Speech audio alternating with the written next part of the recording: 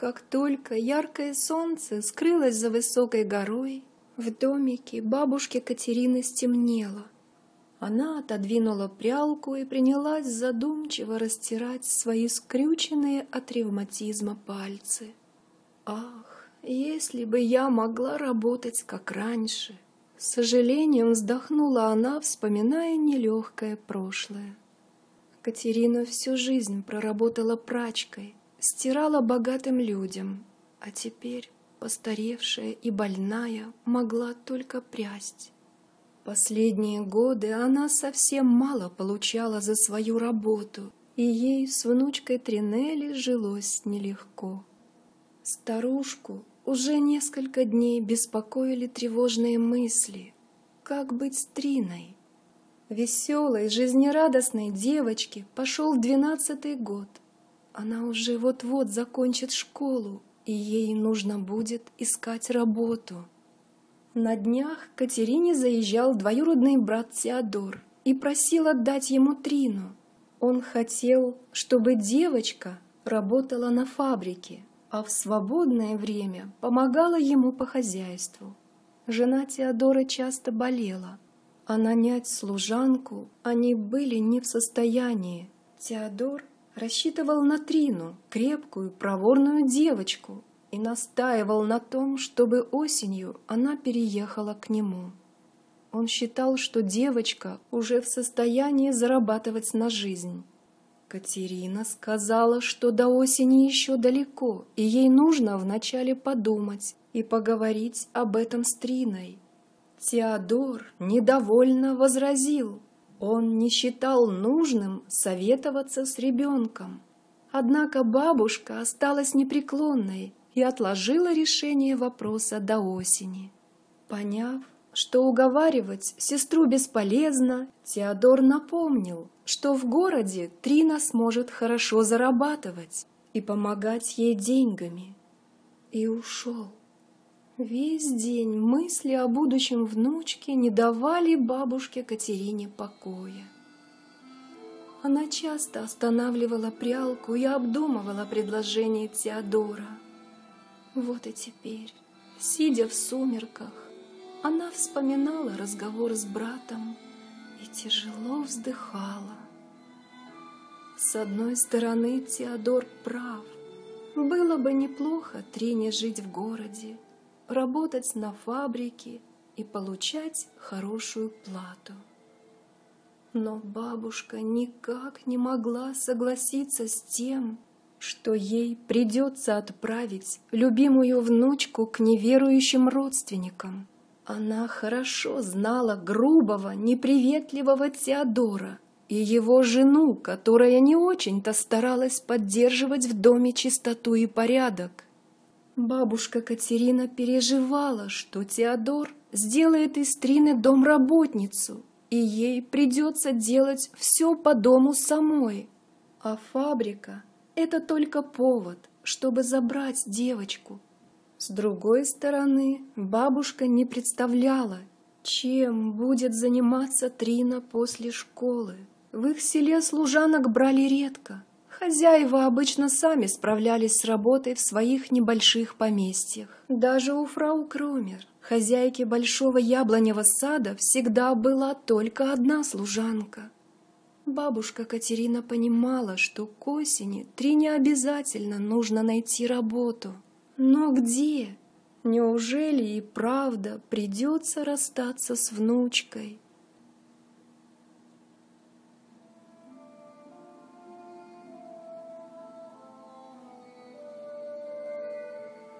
Памяти старушки в один миг ожили трогательные, незабываемые картины. Она рано осталась вдовой с двумя малолетними сыновьями и дочерью. Ей пришлось много работать, чтобы вырастить детей. Во всей округе Катерину знали как старательную, аккуратную и добросовестную женщину.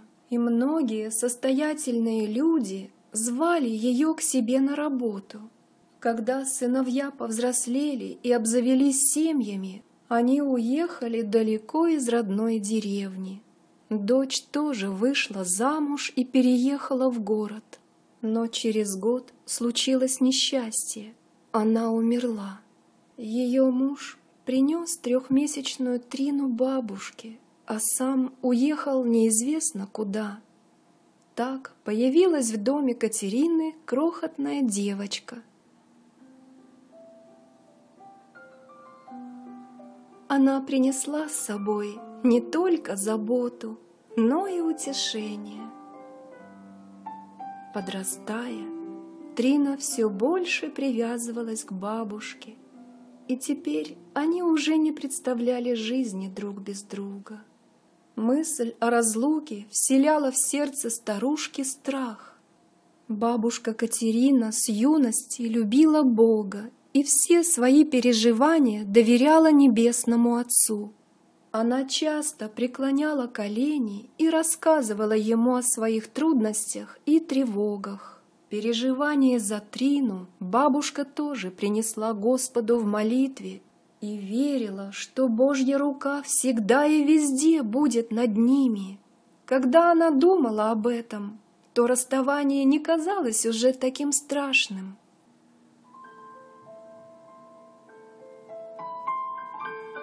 Пришла весна, а за ней и лето. Трина закончила школу и теперь целыми днями могла помогать бабушке. А когда солнце хорошо обогрело землю и в лесу начали созревать ягоды, Трина вместе с другими детьми стала ходить за земляникой. Среди девочек, с которыми ходила Трина, была Марианна — худенькая и стеснительная, старшая дочь многодетной семьи дровосека. Рядом с краснощекой и подвижной Триной она выглядела бледной и медлительной. Ее застенчивость подчеркивала бедная и большая, видно с чужого плеча, одежда. Мать Марианны часто болела, а скудного заработка отца не хватало, чтобы прокормить шестерых детей. Марианна старалась изо всех сил, чтобы хоть немного помочь родителям. Но, несмотря на усердие, каждый раз с трудом набирала только пол корзины ягод. Однажды Марианна нашла поляну, усыпанную крупной земляникой. Счастливая, она стала быстро собирать ягоды. Но тут подбежала Трина. Увидев крупную землянику, она присела возле Марианны и, выбирая самые хорошие ягоды, скоро обогнала ее. Обежав всю поляну, Трина торжествующе выкрикнула. «У меня уже полная корзинка! Пойдемте домой!» Дети стали торопливо закрывать свои корзинки листьями и травой, чтобы ягоды по дороге не рассыпались. Трина тоже положила поверх ягод большой лист лопуха и аккуратно закрепила его тоненькими прутиками. И только Марианне не нужно было прикрывать ягоды, потому что их было чуть больше полкорзины. Весело переговариваясь и обгоняя друг друга, дети спешили домой. Печальной была только Марианна, она снова не успела собрать ягод столько, чтобы можно было продать. Возле яблоневого сада Трина услышала голос фрау Кромер. «Тринелли, иди сюда!» Трина подошла к изгороди. «Покажи-ка свою землянику!» — попросила она, приподнимая лопух. «У меня растет ягода намного крупнее, но говорят, что варенье из лесной земляники ароматнее и полезнее. Сколько тебе платят за такую корзинку? Один франк. Думаю, она не стоит дороже, добродушно подметила фрау Кромер. Но ради твоей бабушки я заплачу больше. Ты отдаешь ей деньги или сама тратишь куда хочешь? Трине показалось, что ее подозревают в нечестности, и она обиженно ответила. «Я все отдаю бабушке. Ну не сердись, не сердись!» — засмеялась фрау Кромер. «Вот франк за ягоду, а это лично тебе!» Отсчитала она пятьдесят сантимов. «Спасибо!» — поблагодарила Трина и, размахивая пустой корзинкой, побежала домой. Когда она заскочила в дом, уже стемнело. Крепко обняв бабушку, Трина положила ей в руку заработанные деньги и весело защебетала. «Бабушка, я быстрее всех собираю землянику, а Марианна за целый день даже полкорзинки не набрала. Знаешь, она так медленно работает, если даже она найдет хорошую полянку, все равно не может быстро собирать. Пока она наберет горсть, я успеваю обижать всю поляну. Надеюсь, ты не обижаешь Марианну. А, ее все прогоняют, вспыхнула Трина. Каждый старается быстрее наполнить свою корзинку и ищет ягоды покрупнее. Марианна тоже пусть не зевает. Ты не должна поступать, как все, покачала головой бабушка.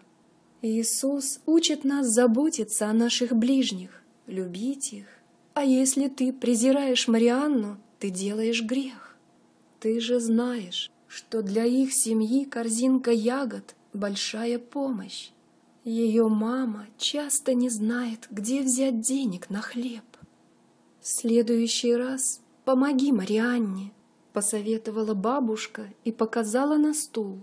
Тринелли, присядь-ка возле меня, я хочу поговорить с тобой. Трина с любопытством заглянула бабушке в глаза. «Мы с тобой должны подумать, куда ты пойдешь работать?» Серьезно сказала бабушка Катерина. «Недавно приезжал дядя Теодор. Он хочет, чтобы ты переехала к нему в город и работала на фабрике».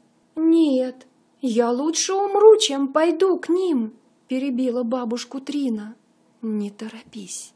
Я думаю, нам нужно все хорошо обдумать, помолиться Богу. Если не согласиться с дядей Теодором, то не знаю, где еще можно найти тебе работу. У Трины из глаз брызнули слезы. «Бабушка, я так люблю тебя и хочу всегда жить с тобой. Я не хочу ехать к дяде Теодору. Как ты будешь без меня?» Кто будет носить тебе зимой дрова и воду? А если ты заболеешь? Кто затопит печку и сварит еду? Ты будешь совсем одна и не сможешь даже кого-нибудь позвать.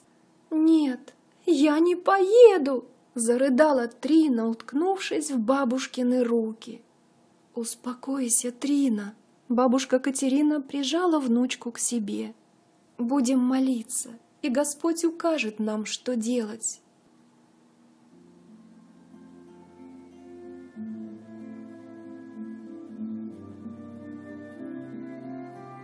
Проходили дни. Бабушка с Триной каждое утро молились о том, чтобы для Трины нашлась работа в их селении. Они больше не говорили о предстоящем расставании – и Трина думала, что ей никуда не придется ехать. Она по-прежнему была веселой и охотно ходила с детьми за ягодами.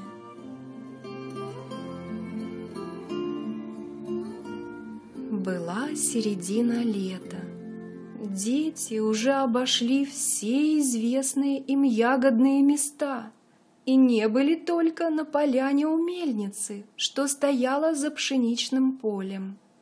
Там, на солнцепеке, всегда росла крупная земляника, но собирать ее осмеливались не все, потому что хозяин поля, переживая, как бы дети не вытоптали пшеницу, всегда прогонял их.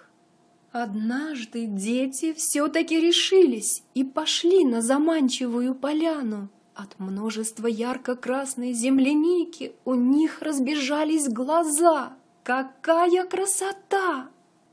Трина нагнулась и стала быстро срывать ягоды. Она так увлеклась, что не заметила, как подошел фермер. Его сердитый голос заставил Трину вздрогнуть. «Вы опять здесь? А ну-ка марш отсюда, чтобы вашей ноги здесь больше не было!»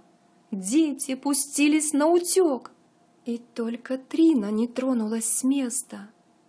«Так вот кто топчет мое поле! Уходи сейчас же!» Еще сильнее закричал фермер. «Я не наступила ни на один колосок!» — поднялась Трина. «Смотрите, я только землянику собираю!» Знаю я вас! Уходи сейчас же, а то...» Сжав кулаки, фермер угрожающе поднял руку. Подхватив корзинку, Трина бросилась бежать. Она пулей влетела в дом и сквозь слезы пожаловалась бабушке. «Я ничего плохого ему не сделала, ни на один колосок не наступила, я рвала только ягоды». «Что случилось, Трина?» — спросила бабушка, остановив прялку. «Почему ты плачешь?» Ее добрый голос немного успокоил Трину, и она рассказала, как фермер прогнал ее с поляны. «Я же ему ничего плохого не сделала!» — повторила она обиженно. Бабушка Катерина долго молчала. «Здесь ты не права, внучка», — наконец сказала она. «Вам нужно было спросить у фермера разрешения. Не обижайся на него. Давай-ка лучше подумаем, чему Бог хотел научить тебя через этот случай». Когда мы с тобой хотим, чтобы в доме было чисто, то берем веник и подметаем пол, вытираем пыль, правда? Бог, как хозяин нашего сердца, тоже хочет, чтобы оно было чистым, и тоже наводит в нем порядок. Только веником в сердце ничего не сделаешь. А вот через разные трудности Бог часто достигает в нас чистоты. Например, фермер поступил с тобой несправедливо, и тебе стало обидно. Но если ты прислушаешься к своему сердцу, оно подскажет тебе, что ты тоже обижала кого-то. Значит, кому-то ты сделала больно, и за это должна попросить прощения. Если ты сделаешь это, твое сердечко станет чище, вот таким образом, через трудности Бог очищает нас. Он хочет обитать в нашем сердце и для этого освобождает нас от гордости, себялюбия, зависти и многих других грехов, которые живут в нас. Трина вспомнила про Марианну, но бабушке ничего не сказала. Стыдно было. Сердце она решила больше никогда не обижать ее,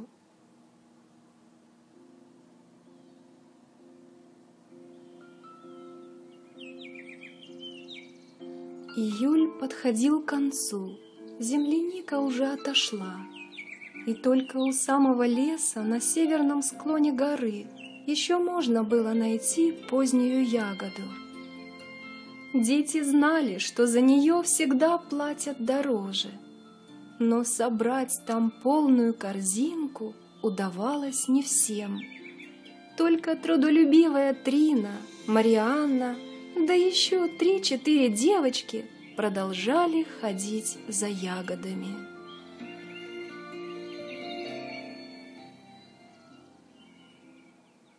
Как-то вечером Трина торопливо спускалась с горы, довольная, что набрала полную корзинку земляники. Она надеялась продать ягоды хозяйке яблоневого сада. Уже у самой изгороди Трина услышала, что фрау Кромер бронит за что-то свою служанку.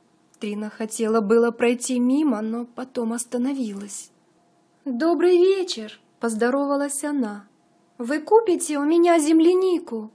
«Нет», — сердито ответила фрау Кромер. «Мне сегодня ничего не нужно». «Вы только посмотрите, какая она красивая!» Вошла Трина в сад. «Я же сказала, что мне ничего не надо. Иди домой», — повторила хозяйка. Но Трина подумала, что фрау Кромер, увидев ягоды, обязательно купит их, и стала торопливо открывать корзинку. «У тебя что, на пятках смола?» — раздраженно спросила фрау Кромер. «Или ты высматриваешь спелые яблоки, чтобы потом оборвать их? Знаю я вас, шелунов!» Я никогда не воровала яблоки. Трина чуть не задохнулась от несправедливого обвинения. «Не хочу разговаривать с тобой. Уходи!» — оборвала ее хозяйка. Глотая слезы, Трина выскочила из сада. Слова фрау Кромер больно ранили ее. Присев на траву у дороги, Трина дала волю обиде. Я никогда этого не делала! Никогда!» — возмущалась она.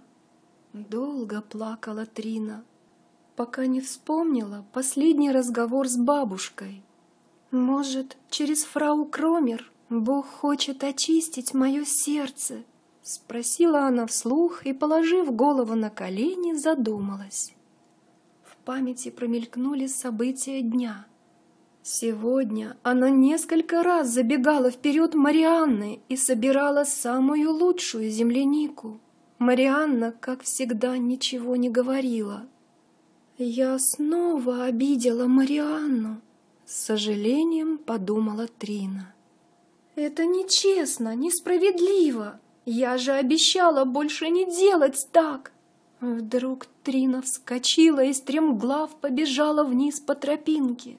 Вот и дом Марианны, маленький и убогий. В вечерних сумерках тускло светилось единственное окно.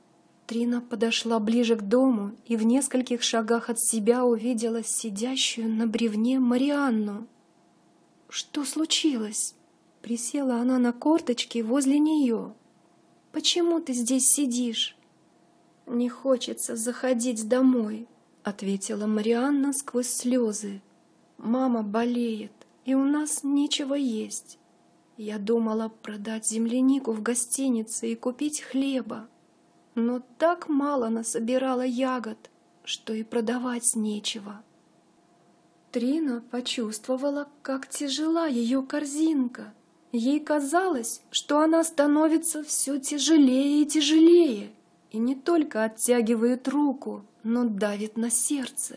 Недолго думая, Трина одним движением сняла лопух со своей корзинки и пересыпала ягоды в корзинку Марианны. «Марианна, прости меня!» — сдавленно проговорила она, присаживаясь на бревно. Я нечестно поступала, когда забегала вперед тебя и собирала лучшие ягоды. Возьми, это тебе. Трина поставила корзинку Марианны у ее ног и, подхватив свою, побежала домой. Марианна сначала ничего не поняла, а потом спохватилась и крикнула вслед. «Трина! Трина! Спасибо тебе!» Добежав до яблоневого сада, Трина перевела дух и пошла медленно, думая о том, что произошло в этот вечер. Ей было приятно от того, что попросила прощения у Марианны, что отдала ей свои ягоды. Трина отдала себе слово помогать Марианне, когда поспеет черника и ежевика. «Бабушка, я сегодня ничего не принесла». Трина поставила пустую корзинку под стол. Я отдала землянику Марианне. Ты не сердишься на меня?» Она подсела к бабушке и рассказала все, как было. «Я рада, что ты поняла голос Божий и осознала свою вину перед Марианной», сказала бабушка, выслушав внучку. «Конечно же, я не сержусь. Ты правильно поступила».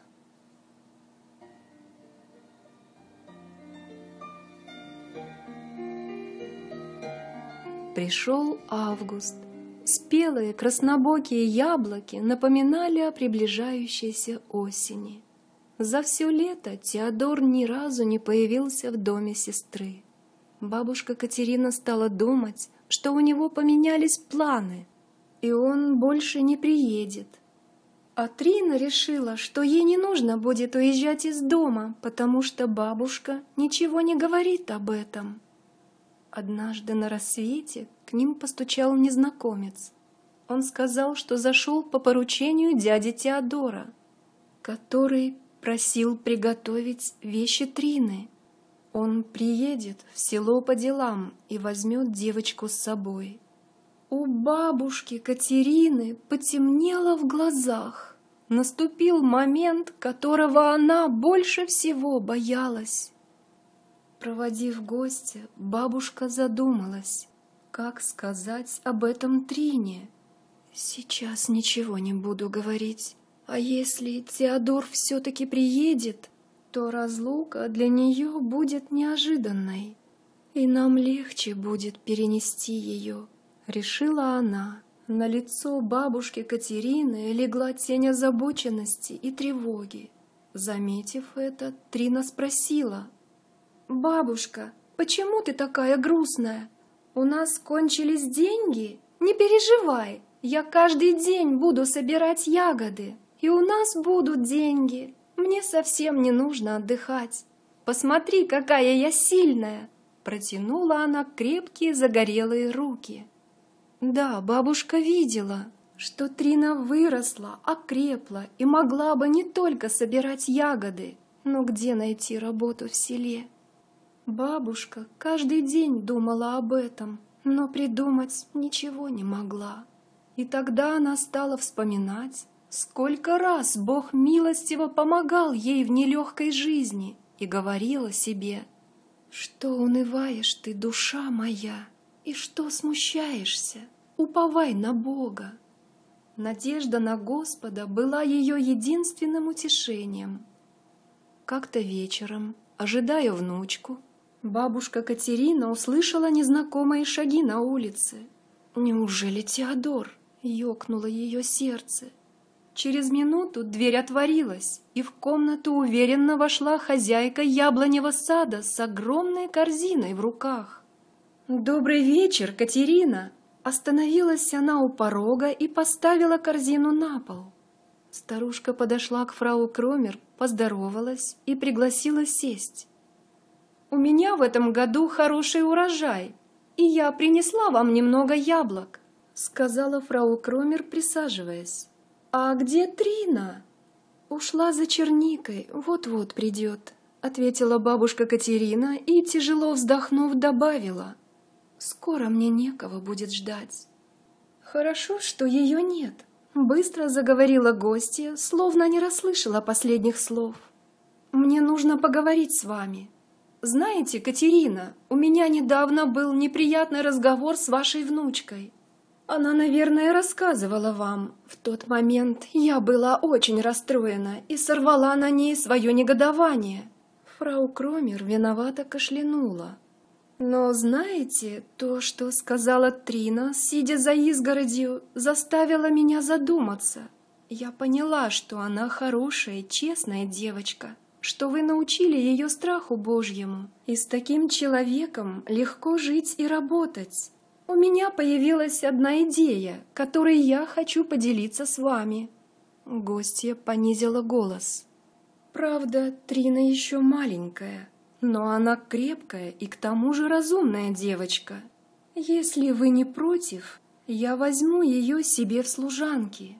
Зимой у меня будет время, я подучу ее, а летом она уже сможет мне помогать. Вы только не переживайте, Катерина.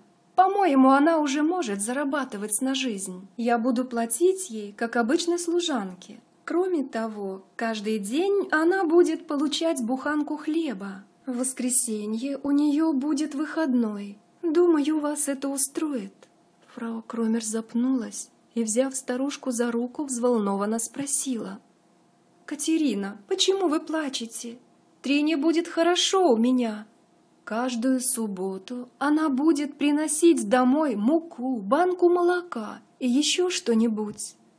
Я плачу от радости, только от радости, Сквозь слезы проговорила бабушка Катерина. Ты даже не представляешь, от какого горя избавила меня, как милостив к нам Господь.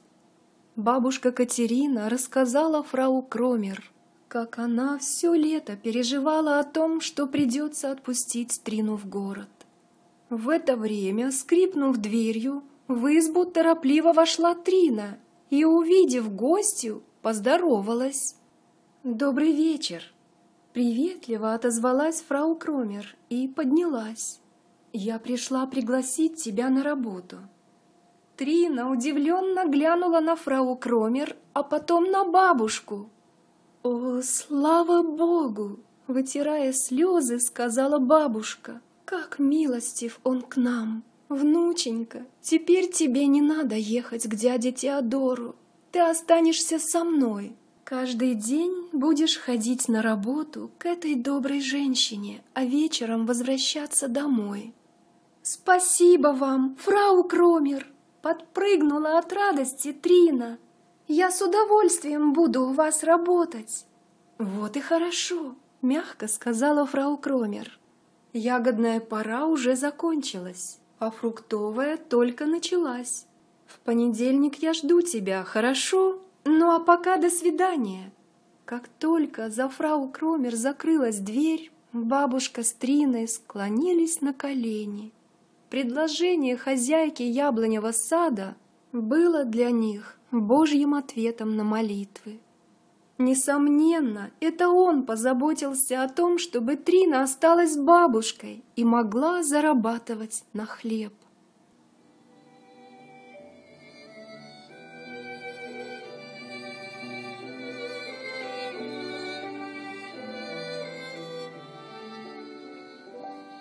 В понедельник Трина первый раз в жизни пошла на работу.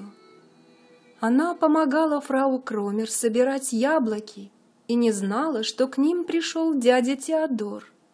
Конечно, он сильно рассердился на бабушку за то, что она не захотела отпустить Трину, но изменить уже ничего не мог.